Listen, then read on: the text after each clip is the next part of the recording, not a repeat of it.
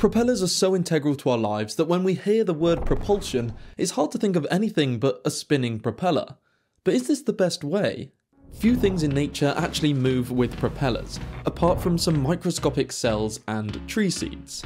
So it's not surprising that the long and fascinating development of propellers is now looking to copy how some other animals get around.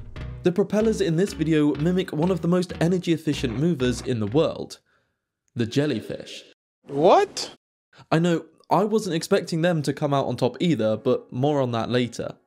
For this video, I travelled to METSTRADE in Amsterdam to see if I could get my hands on one of these new types of propellers that's not a spinning propeller, but a membrane propulsion system inspired by the sea jelly. I'm Ryan Hughes, and this is a Ziroth Deep Dive. There are thousands of species of jellyfish or sea jellies, and they predate dinosaurs by nearly 300 million years, so they've had a long time to perfect their graceful movements.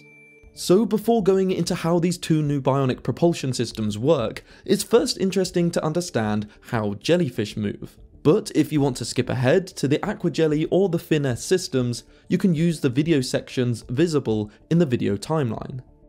Jellyfish move through the water using an efficient method of low pressure zones and vortices. Their movement begins with bell contraction, where muscles along the margin of their bell-shaped body contract, forcing water out and generating a jet-like thrust that propels them forward. This action forms a vortex ring, which is a circular water current at the edge of the bell that enhances propulsion. As the jellyfish relaxes the bell, it passively returns to its original shape, creating a low pressure zone beneath it. This low pressure area pulls surrounding water inwards, generating another vortex that assists in forward movement further with minimal effort. I found this incredible simulation that shows the high and low pressure areas and vortices moving around as the jellyfish glides through the water. The colours here represent velocity, so even though the vortices are red and blue, they both indicate low pressure zones. Through what is called passive energy recapture, those low pressure areas and vortices underneath the relaxing jellyfish push it along with no additional effort. This self-sustaining cycle of contraction and relaxation enables jellyfish to move efficiently through the water, conserving energy whilst covering long distances. There is a great piece of research which compares something they call the cost of transport for all kinds of creatures.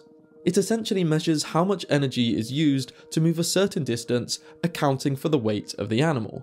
And in a study of thousands of running, flying, and swimming creatures, the moon jellyfish came out on top with an exceptional energy efficiency rating.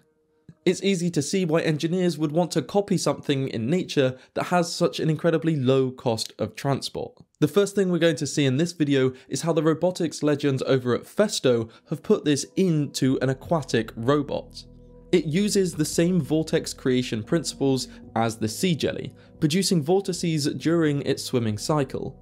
However, instead of contracting a bell-shaped body, it uses 8 tentacles that are in a circular pattern.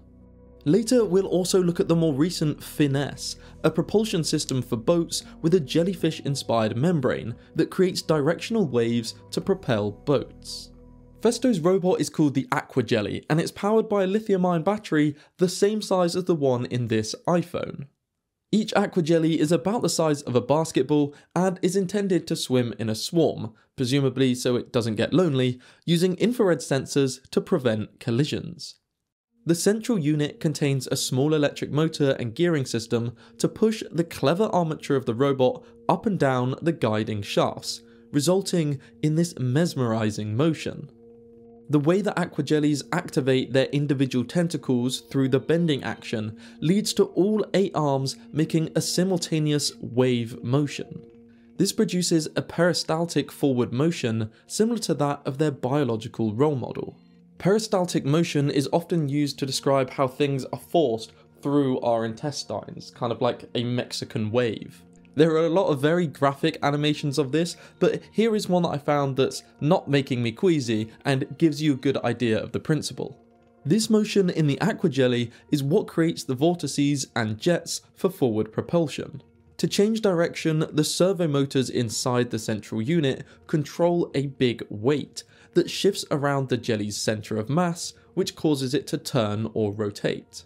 The main purpose of these aqua jellies are to use swarm intelligence to allow low energy, mobile sensors to be deployed in water systems to monitor things like temperature and toxicity levels.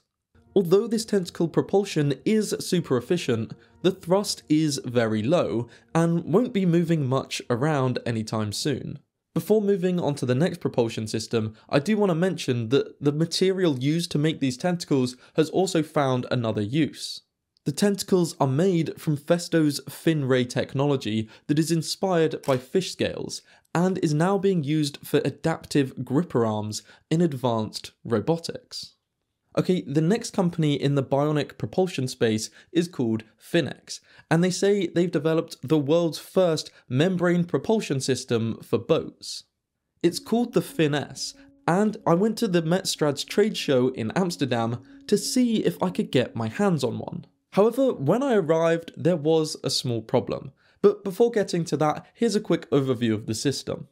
The FinX is an outboard boat motor that uses a bionic inspired membrane for better hydraulic efficiency.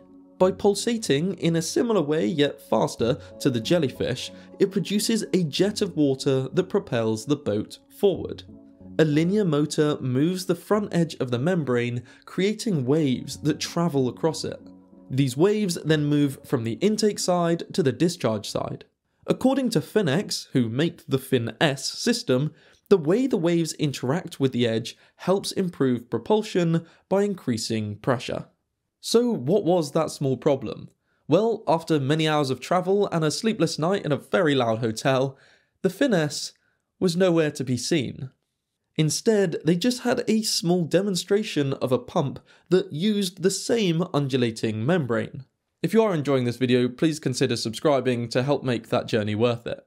All jokes aside, I have to say I was impressed by the enthusiasm of their marketing manager who gave me the tour of the system when I got to the trade show. He explained the benefits of the FinX system compared to traditional propellers due to their lack of spinning blades that reduces the issues of tangling lines and inflicting injuries.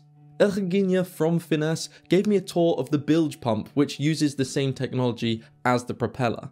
Hello, my name is Eric Guillemin and I'm working on the membrane propulsion since more than 25 years. And now I will introduce you a pump with a working undulating membrane and the pump is made out of five uh, different parts. You have the inlet, the water comes in here, then you have the membrane and you have the magnet. And here you have the stator, the coil, which you have plus, minus, plus, minus, and when you put it on, you have that movement with the magnet like this, which creates a wave going from the outside to the inside and pushing the water that comes out here on the top flange. And if you need a small flow rate and pressure, the size of the membrane is very small because it's 67 millimeter. But if you need a bigger uh, flow rate and pressure, then you have a different size of the membrane. And if you need uh, another bigger volume and bigger pressure, we can adapt any size of the membrane depending on the flow rate and pressure you need. Apologies for the terrible camera work there, but you can see that there wasn't much of a tour of the actual propulsion system, even though the idea of the membrane is interesting. I was disappointed that I didn't get to see any of their outboard motor or propulsion systems in person. I'd watched the promotional FinX videos and there were lots of shots of swans and scenic French waterways, but little on the membrane motor itself. I was so intrigued that I'd even tried to buy one as advertised, but the payment portal didn't work, which is why I ended up going to METSTRADE. I asked if I could go to France and see a prototype, but they told me that there was no public viewings available for any of it. And not to try and knock them whilst they're down, but there are also claims floating around about a boat at the Olympics using one of their outboard motors. But when I asked about this, they said there was also a traditional boat motor and propeller to help out because it wasn't powerful enough on its own. And in a video on their YouTube, it looks like it's not even in the water. I mean, they did have a lot to contend with with the overflowing Seine River, but the jury's still out on this one.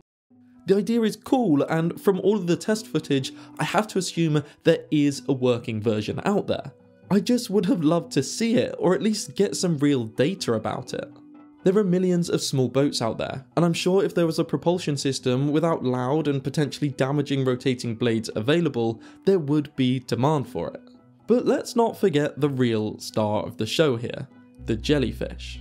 Sea jellies might not look efficient, but they do win on the leaderboard of the animal kingdom's most efficient movers. I'm certain we could continue to learn from their simple movements and genius vortex optimization in many applications, helping move all types of objects more efficiently.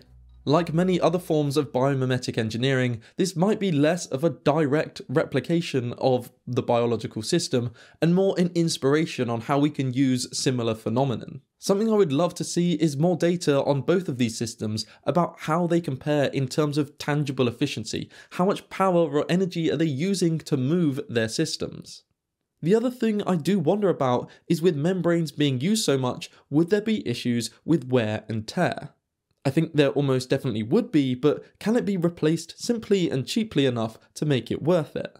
One thing is for certain though, the engineers that make these systems need the best tools available, which is why they should be using Onshape, who made this video possible.